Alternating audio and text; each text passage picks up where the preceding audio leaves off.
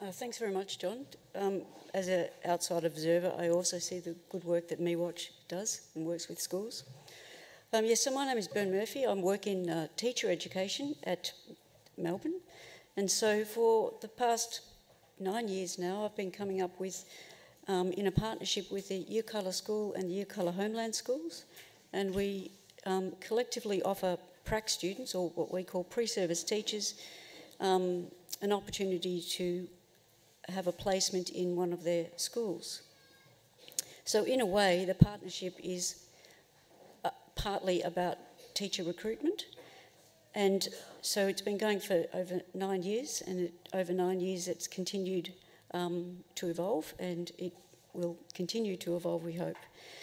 So the partnership might be about schools, but it's really a partnership with people. So I'd like to acknowledge the school leaders of the Yirrkala School, Meriki, Katrina, and Yelme, and the Homeland School, Haiti, and Muchanga, who is the cultural advisor. And also all of the other teachers, both Yolngu and Ngambagi, who work in the schools, because all of them contribute um, in some way. In particular, I would like to acknowledge Lombinga from Garrthalala, a homeland. Lombinga was going to do this um, with me today, but she was here all day yesterday and, and can't be here, so I am going to use some of Lombinga's words um, and be guided by her.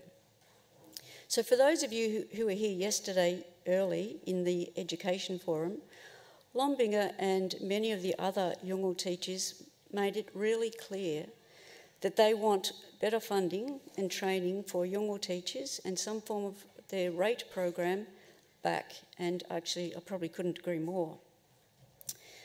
Um, and so, for those of you who are not from around here, I thought I'd um, just give a snapshot of what the two schools are so that you have a sense of what the partnership looks like with students. So, firstly, the Yirrkala School, which is kind of just down the road here, is a P to 12 school. It also has a FAFT program, the Family as First Teachers, um, and bilingual, and they accommodate students in all of those programs to offer experience of what it looks like and what it's like to work. The teachers are really generous with their time um, and their expertise. A homeland school, on the other hand, um, is a school in a homeland which on that red dirt road. If you keep going, the homelands all seem to um, go off that road at some stage. The homelands oper school operates from Monday to Friday, but on a, from a Monday to a Thursday, the um, teachers, the visit what they call the visiting teachers, who tend to be the Ngambagi teachers, go out on a Monday afternoon. They either drive or they fly. Um, from a Monday to a Thursday, they're out at the school and they uh, stay in the training centre based in the middle of the homeland, and the, they work in conjunction with the homeland centre teacher, um, and often what they call a young paddler, who is a young person who lives in the community who helps out. They're kind of like a teacher in training themselves um, at the school. So when I was thinking about what might be useful to share um, about the things that I've learnt I want to talk about some of the examples from Lombinga and from the homeland of Garrthalala.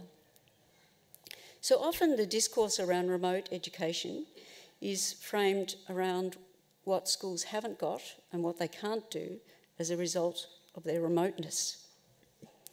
And as Lombinga points out to the students, um, that for, for the people, families in Garrthalala and everybody up here, Melbourne is remote for them. So she kind of gets them to flip what, how they're thinking and instead focus on what can be achieved and what they have got and what they do do with limited resources often. And at Garrthalala, it's not uncommon for the families and teachers to all get a troopy after the official school day um, to go hunting, which might be fishing or mud muscling, and sometimes cook it on the beach and eat it that night that evening with the families all together. Lombinga will, will explain that this is not about a recreational activity for fun, even though for the prac students it's, it is a lot of fun. She will explain that it's about showing, it, showing students what the kids' lives are like so that they better understand when they're teaching them in the classroom. And in this context, it's also flipped because the kids become the teachers and the pre service teachers become the learners. And it's really powerful. In fact, one day I was on the beach with um, Lombing has a young son called Cyril, who's about nine, I think. And Cyril told me that he's going to be a teacher when he um, finishes school. And I said, Why do you want to do that, Cyril? And he said, um, So I can help my mum out so that she won't be so tired.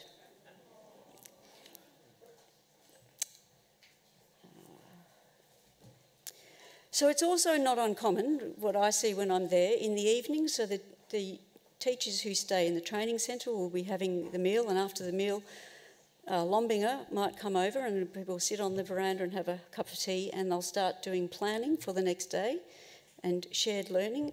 And um, the pre-service teachers are involved in that, and they get to see, you know, how it works, because schooling and education doesn't isn't confined to nine to three. It sort of happens all of the time when they're there.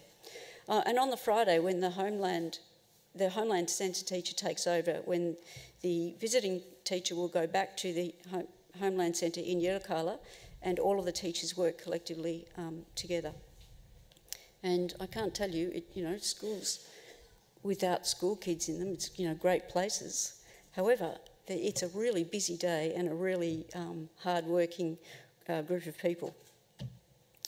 So if I come back to that notion of partnerships, I kind of think, how do we keep a partnership going under the existing inequitable funding conditions that these schools um, are operating in? And that's a question we have to constantly ask ourselves, and I can talk to about our colleagues in how we do that. So we do try to give back as much as we get. But really, for any school to agree to take on a student teacher, it's always something extra um, to an already busy time. So my role is to, is to help support that um, process. Um, but to me, the partnership is not about what we think that we can offer. It's about what the schools and the people think and believe works best for them. So it is. It does need to be collaborative. It's like we can offer this and we can do various things, but um, how does it work together and how does it work for you and what works best for you? And so when I say it's evolved over um, the, all those years, I think back to the early days and, you know, um, think, oh, I wish I hadn't done it that way.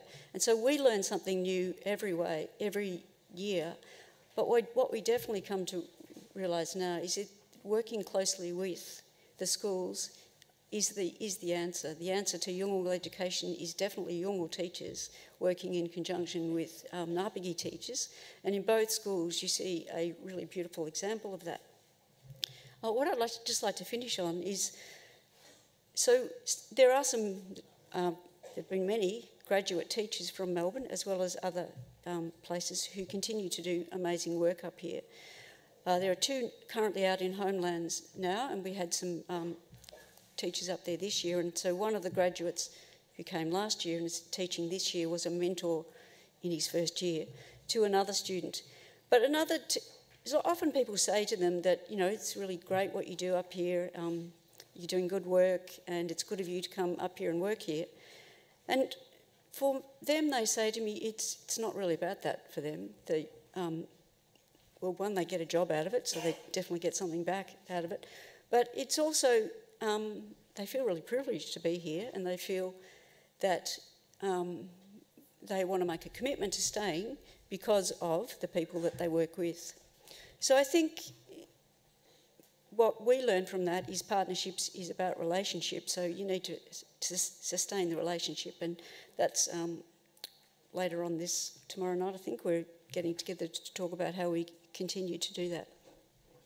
So I think um, I'm under my 10 minutes, so I think I might finish there um, and pass back to Sean. So thank you very much.